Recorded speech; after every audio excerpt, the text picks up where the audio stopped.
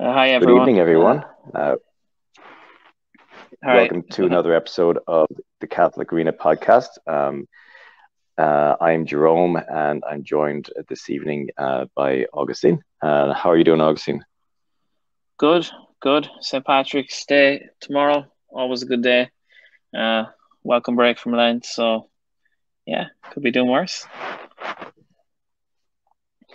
Yes, we have a, a bit of a break tomorrow, I suppose. If, if people are, are fasting, we uh, it's traditionally a feast day, so uh, we're allowed to break any fast, like of sweets or that kind of stuff. Yeah. So, um, yeah. So tonight we were going to talk about just about St. Patrick. Um, just some of the things about him.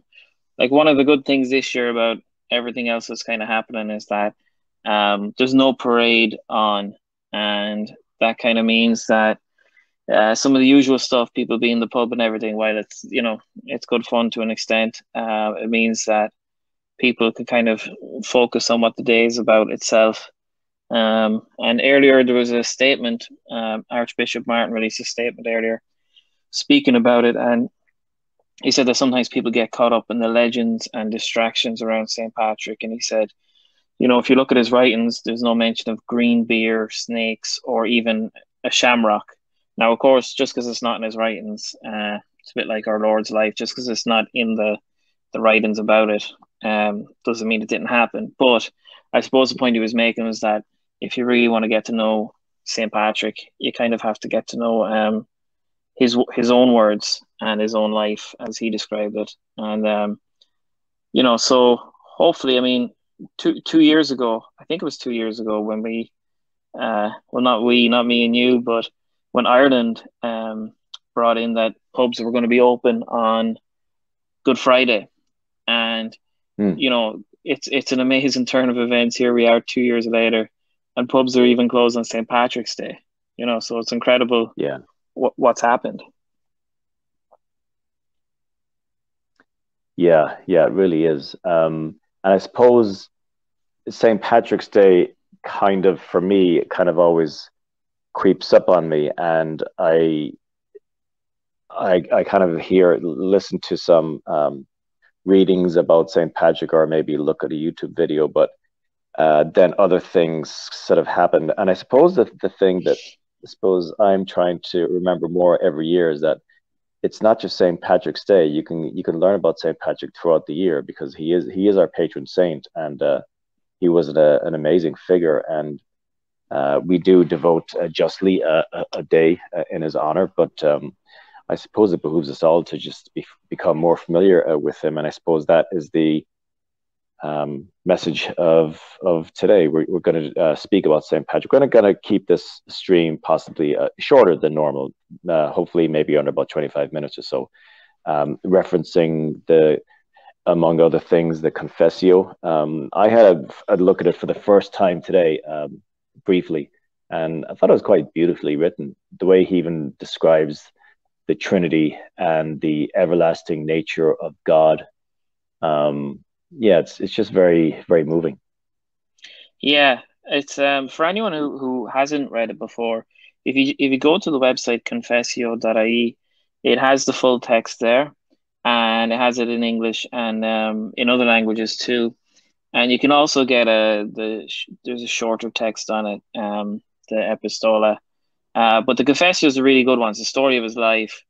And the amazing thing about Patrick is, um, you know, we've mentioned before how one of the problems that Ireland's having is that it's getting caught up in all this other stuff going on in the, in the West about, um, you know, the original sin of uh, Western civilization that, you know, we were colonizers and we were slave owners and all this stuff. And it's incredible thing about Patrick is that he was a slave. And in his slavery, you know, he turned to faith and he, he, there's no anger in, in what he wrote. It's, um, it's very beautiful, and you can see that his faith brought him to uh, out of slavery, not just in terms of spiritual slavery, which he's in at the start of it, because he, he doesn't really live a life of faith, but it brings it actually has a, his vision, and it brings him out of um, physical slavery that way too, uh, but brings him out of a spiritual one too. So it's um it's a great document, and and he comes across as really humble, doesn't he? Really does, yeah. That that's one of the things that struck me the most. Um, I suppose it was it was a little bit uh, in, um, kind of jarring too to see the emblems of the Irish government um, plastered all over the footer of this. Um, we're not used to the Irish government uh, proclaiming and, and amplifying such a, a beautiful message of of uh, of faith in, in God. It was it was nice that, that it still exists uh, in government circles to some aspect. It's it's it, I think the Royal Irish Academy um, hosts this confessio.ie and that which is mostly funded by the government. Yeah, and it's uh you know it's funny because it is kind of a basic website. It's a very good website because there's loads of other uh, historical stuff on it as well. Um, the records of Patrick's life from Muirchú and Tírechán, um, who were medieval monks, and, and they recorded um, the the life of Patrick. Um, and there's other little articles on it about St. Patrick and art and stuff like that. It's a simple website, but the stuff in it's really good. But it's interesting because um, they plastered their name all over it. But I mean, they clearly haven't like put a fortune into this website. You know what I mean? Like they're happy to say, yeah, yeah our name's on it, but you know, um, but yeah, there, like there, there was a couple of things in it. Like, was there anything in particular that stood out for you when you read it? in terms of like uh, any experiences he had? I didn't. I didn't really get that far. I, I pretty much just made it to to chapter four. Um, yeah. But uh, just just the way he does the the thing that got got to me was like he he, he describes in a lot of detail the eternal nature of God and the, the obviously the timeless aspect and yeah, it's it's good that that I mean you don't really see that written anymore today. It's kind of like assumed, but it's it is a helpful mm. to to actually see it like written for for anyone to see. Um, for even a practicing Catholic, it's just useful to just reflect on that. And he he would have seen it with with new eyes. I mean, he's only a couple of centuries apart from from Christ himself, you know. So um, yeah, it's it's kind of you can and and then but the the thing is, I mean, he may as well have been on. He was on the other side of the known world at the time, really. You know, so it's it's incredible when you read it. You can see his kind of wonder with God, you know, and you can see his um his humility in the face of of of God's greatness. So it's um I think people could could really do it reading it, but the what like the amazing thing is um I know you're saying like you didn't get too far into it, but what I say to people is you don't even have to get too far into it. If you actually get into the first uh, the first eight words, my name is Patrick. I am a I am a sinner. Um, you know, it's it's very humble yeah. and it's it's a world apart from um, some of the negative connotations people try to put on the the faith and stuff. You know, he starts with the fact that he's Patrick, but he's a sinner. Um, so it, maybe that's kind of where his humility comes from. There, he acknowledges that, you know. Um, but just on uh, for just on for someone of, as holy as him, yeah.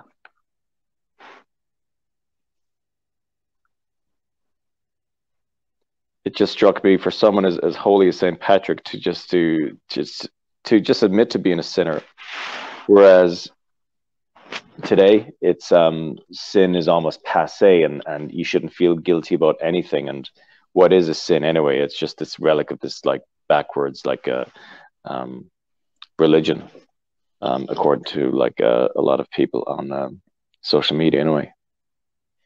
I don't know if you saw um elton john today talking about the pope. Did you see that? No well, uh, Elton John said, I suppose to give him some credit. I mean, he had a he had half a fair point, but I mean, so he he said, you know, like there were he was one of many people giving out about the uh, decision yesterday that the Vatican released. It wasn't a decision; it was clarification about uh, whether or not they could bless same sex marriages. And Elton John was saying, like, you know, how dare you not bless my marriage? And he said, you know, but yet you'll invest in my movie. Now, to be fair, I was kind of like, what? They invested in his movie, which they did. The film Rocketman, apparently the Vatican invested millions in it and made loads of money from it, which is really bizarre. Yeah. Um, but that incredible. just kind of that just sums up a lot of stuff going on there with, with money in the Vatican. But Um, but the other one, the other well, it's, part of it it's was, probably yeah.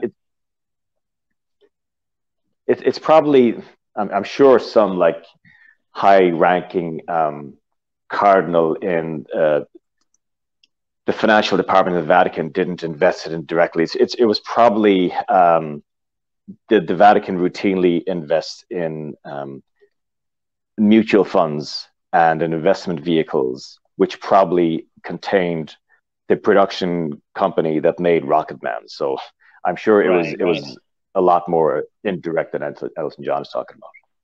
Yeah, hopefully. yeah, um, hopefully, anyways, they didn't Yeah. go. Wow, this this sounds great. Um, but the point he like he what really seemed to rile people was the word that God couldn't bless sin. That seemed to really have like wound people up. You know, the notion of of sin, and um, you know, people have to.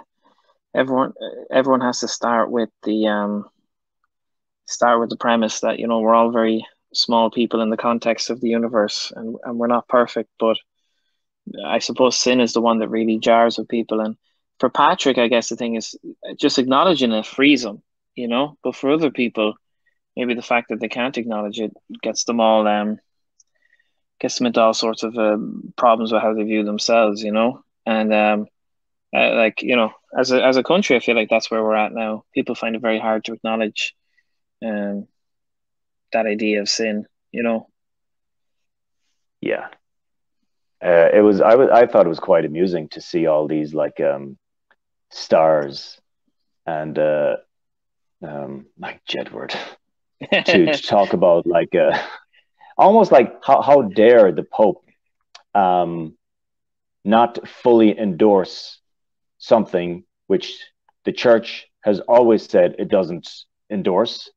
Uh, the, the Vatican has been quite careful, maybe more in, in recent decades, to um, to to clarify that homosexuals are worthy of God's love, of course, and but that they fundamentally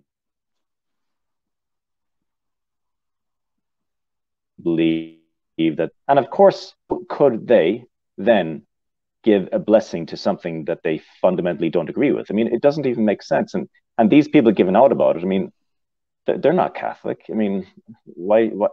I, I really don't see. I'm kind of scratching my head why they're even sticking their their beaks in. You know? Yeah.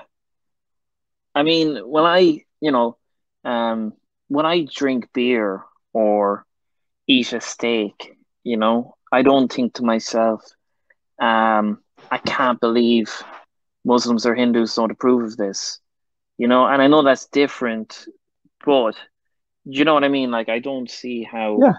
my, my own actions could be dependent on uh, the interpretation from another faith. And um, I suppose, like, it kind of reminds us of the the culture that Patrick grew up in, which is or that or that he came back to when he came back to Ireland, which is that the he didn't look for the approval of the pagans. He just decided he was going to light the fire, uh, the Paschal fire, um, on top of the hill of Slane. And he just said, "Look, I don't really care," you know, and he didn't he didn't look for their uh, approval. He just he was just looking for God first, and it's um yeah, I think people have to remember that that it wasn't any easier back then. In some ways, it was probably even more difficult. I know you weren't bombarded with social media all the time, but you know, in some ways, it was more difficult because he could have been killed for for opposing their ways.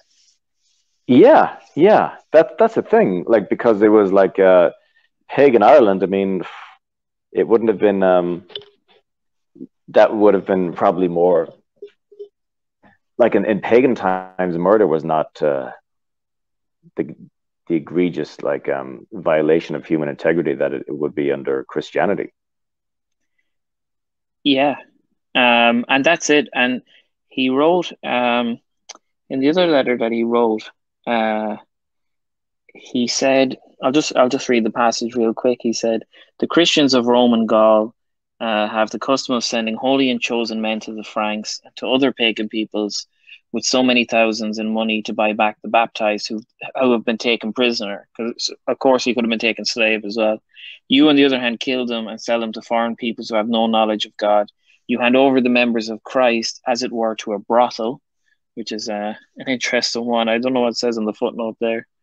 Okay. Oh, apparently that's a, a quote mm. from 1 Corinthians 6.15. You take members of Christ's body and join them to the body of a prostitute.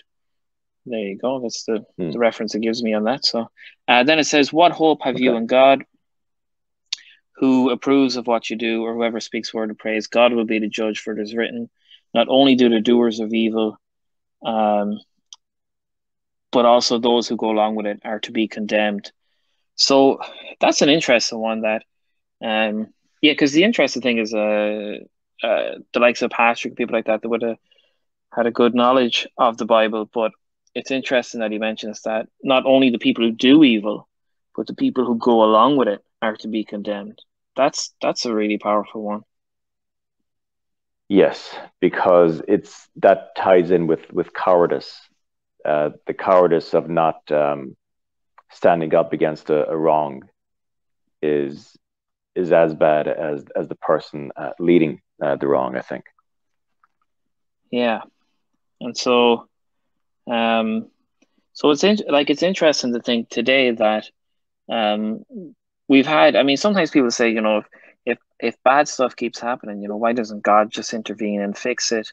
And you look at Ireland now, and I mean, go back, go back three years ago, almost three years ago now, and um, the the events in Dublin Castle, which we won't mention, but yeah. it's you know you were kind of saying to yourself, you know how, you know how how is this going to resolve itself? It's just getting worse and worse, and I don't know. Here we are now, and it feels like I don't know. It feels like God is putting manners on people for for throwing a tantrum at him, and that's not a comment on saying he makes people sick or anything, but it's kind of saying, well, you know, people were very proud of themselves a couple of years ago, and things have people have been humbled now. Well, that's that was um, kind of referenced in the first verse of the Confessio. I was taken into captivity in Ireland along with thousands of others. We deserved this because we had gone away from God and did not keep his commandments. We would not listen to our priests who advise us about how we could be saved. The Lord brought his strong anger upon us and scattered us among many nations, even to the ends of the earth. So, like, uh, our freedom is constrained now. Um, uh, more and more people are turning away from the church. Uh, the church is really on the back, but the church is almost on a daily basis. It's it's it's assailed in maybe not in the media, but certainly social media. So uh, yeah, there, there's parallels today with like um, our freedom being taken away, being taken away in this era of coronavirus, and is that um, some kind of punishment from God? I mean, yeah, who knows? And even it's, it's, not completely. Yeah, and even his um, his approach, um, his approach is kind of what what Christ said, which is that you know, before you try to fix other people, fix yourself first. And that's that's really what he does, you know. And he says at, just after the sentences you read, the next sentence is, "It was among foreigners that it was seen how little I was. It was there that the Lord opened up my awareness um, of my lack of faith. Even though it came about late, I recognized my feelings, my failings. So I turned with all my heart to the Lord my God, and He looked down on my lowliness and had mercy on my youthful ignorance. So, mm. you know, it comes with it comes with him looking inside first and fixing himself. And so, um, I suppose the message, the hopeful message in in the Confessio for Irish people is that, you know, if we work hard, those of us who are still in the church and trying to fix the church, if we work hard and trying to purify it from within, um, even just give it a bit of vitality, give it a bit of life. Um, you know, it, it, it can, by fixing the church from the inside first, then we can start moving out to the world again, you know. Do, do you have any like uh, specific examples or of what people could do? Um, I would say, you know, I always just tell people one of the big things to do is is get familiar with the lives of the saints because Hmm. Um, you know, Patrick, you could tell people just go to a Latin mass, but I mean, you know, it's that it mightn't resonate with everybody. You could say to people, um, you know, just go to mass every Sunday. But I mean, that doesn't. Hmm. It's those are instructions. It's not really um, uh, inviting people to kind of uh, have their lives, um, you know, uh, enlightened by this stuff. I think a a good Yeah. piece of advice I'd say to people is study the lives of the saints and Patrick, uh, Bridget, um, but then other more recent ones too. Um, you know, you have people who are known to be saints from Ireland, like Frank Duff and Edel Quinn, and but then you've people like Little Nelly of Holy God, and you have a rich tradition in Ireland even recently. So that's it. Look at these are real lives. Look at them, and then by looking at them, you can trust people to to imi- imitate them. That's the big thing I would say. Does anything come to your mind? No, th- that's that's a great point. Um, when I first, I I think it was there's an author. I think his name is is it Scott Hahn? Yeah, Yeah, he wrote a book about the saints. I got an, an audiobook, and one of the things that struck me about it is these were just like people with flaws like everyone else had, but they they battled through them. They worked really hard. A lot of times, these people were degenerates. Sometimes they were murderers. Or sometimes they were just like um, they came from other um, professions, and they came around. Uh, to faith and some of the things that they they did uh, to to prove their love for God and to do good works and to um, um, spread God's word. It was some of it is actually quite. Uh, it's really intriguing and challenging. Um, just, just they're just very, very interesting and, and inspirational people. It's what I always think about it of, of these saints is they kind of have the whereas like most people just see maybe a few years ahead, maybe a, a, a decade ahead or a couple of decades, but these people almost not almost they they look entirely past their own lives. They look entirely past any concept of even having any sometimes even having any shred of comfort again for the rest of their lives, um, even to the extent of voluntarily taking on pain, um, just to remind themselves to of the sacrifice that that that Jesus suffered. Um, and there was like ex like some saints who were were prostitutes, uh, um, mercenaries, just really Satanists, you know. Satanists, just really interesting stuff. And um, yeah, that's a great point. Starting with the lives of the saints, because it kind of comes from there, and from getting into what what drove them. A lot of times, it, well, most of the time, it would just inspire people. Oh, what what does how is this liturgy so important? And then I think that is the proper way to go about it because then people will really want they'll be attracted to the the liturgy and the canon of the mass and and what does the Eucharist actually mean. Um, that's that's a great point. Yeah, um, and I'll I suppose just to just to finish off, just the last two verses of Confessio. Again, if you haven't read it before, you you could read it, you know, very quickly this evening or um, the last couple of verses says, Again and again, I briefly put before you the words of my confession. I testify in truth and in great joy of heart before God and his holy angels that I never had any other reason for returning to that nation from which I had earlier escaped, except the gospel and God's promises. I pray for those who believe in and have reverence for God. Some of them may happen to inspect or come upon this writing, which Patrick, a sinner without learning, wrote in Ireland. May none of them ever say that whatever little I did or made known to please God was done through ignorance. Instead, you can judge and believe in all truth that it was a gift of God. This is my confession before I die. So he wrote this at the end, uh, towards the end of his life, and he said, you know, he came to Ireland just to spread God's message. And, you know, sometimes just keeping it simple like that is uh, is the best way to convey it to people. that was yeah.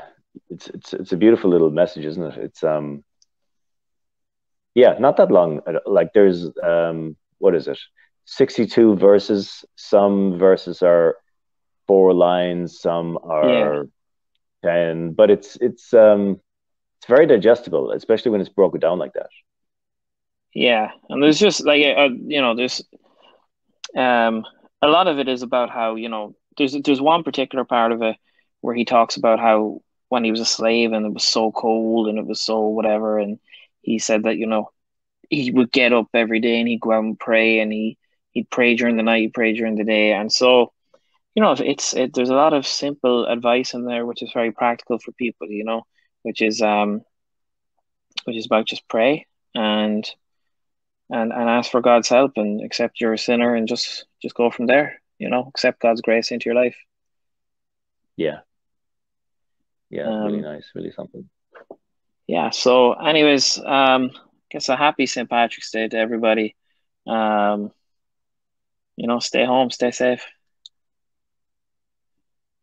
Exactly. Thanks, thanks, um, Augustine, and uh, thanks to all you uh, listening. Um, we're trying to get um, our numbers up on the YouTube page. So uh, please, if you haven't already subscribed, please do so. If you if you like our work and if uh, if you like this, um, we love a, a, like on on the video and and a comment. Um, and yeah, just just tell your friends uh, and even feedback for uh, ideas for for topics to talk about or.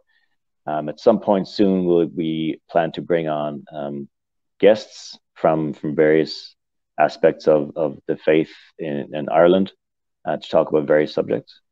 So uh, yeah, just um, uh, like and subscribe. Yeah. Um, okay. Chat to you later, Jerome. Chat to you later, everybody. All the best. Thanks, Will. All right. Take care.